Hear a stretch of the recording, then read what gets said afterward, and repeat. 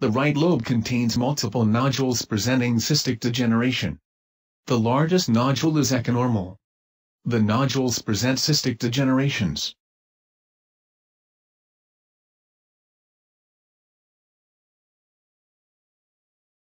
According to the palpable mass, there is a distinct lesion lateral to the right carotid artery.